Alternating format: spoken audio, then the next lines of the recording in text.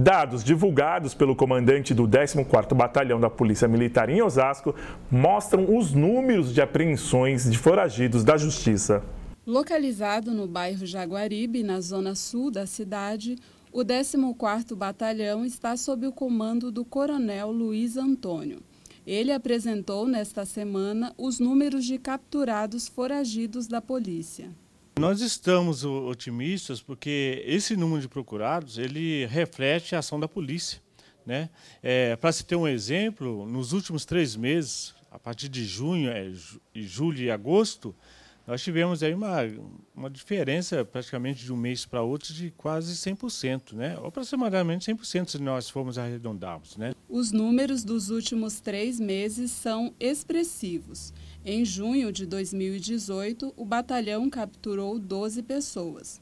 No mesmo período, em 2019, foram 23. Em julho do ano passado, foram 9. Em julho de 2019, 16. Já o número de capturados no mês de agosto desse ano, em comparação a agosto do ano passado, surpreende. Foram 12 no ano passado e 54 neste ano o número é quase quatro vezes maior. O comandante atribuiu o sucesso das apreensões para o planejamento do trabalho feito pela corporação. Nós é, reputamos as, as ações policiais, são desenvolvidas diariamente, né, que é basicamente com um policiamento direcionado, ou seja, é feita uma pesquisa diária, uma análise criminal. Então, nós colocamos o policiamento justamente nos locais de maiores índices, onde chama mais atenção, onde há uma maior, uma maior demanda de ocorrência.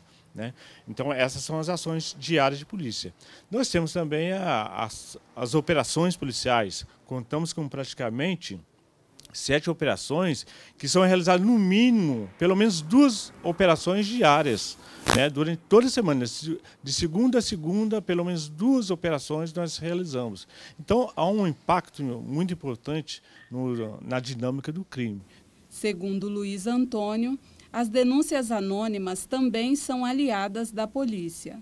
Por, por último, nós reputamos também a as denúncias anônimas que são feitas pelas pessoas através do 181, que é o Disque Denúncia, que até vale salientar que as pessoas que procuram 181, elas têm uma capacidade muito grande de poder fazer essa denúncia né, de forma muito segura, porque elas não são identificadas se assim elas não quiserem.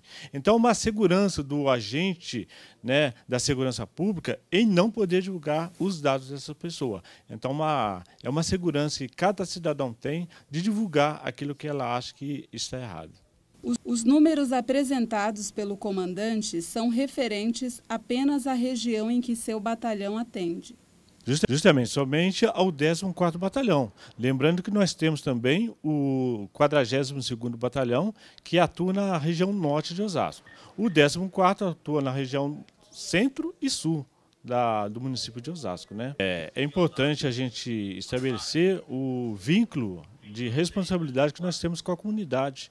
Né? Então, isso reflete né, uma maior segurança para as pessoas. Uma situação é os indicadores criminais estarem elevados e outra situação é as pessoas terem sensação de segurança. São, é, são coisas totalmente diferentes. Né? De repente, a, a sociedade, a comunidade está vivendo no município, onde os indicadores são baixos. E nós temos essa, esse privilégio de falar que os indicadores estão reduzindo, mas também considerar que a sensação de segurança é muito importante. Parabéns a todos os envolvidos nesse importante trabalho da Polícia Militar.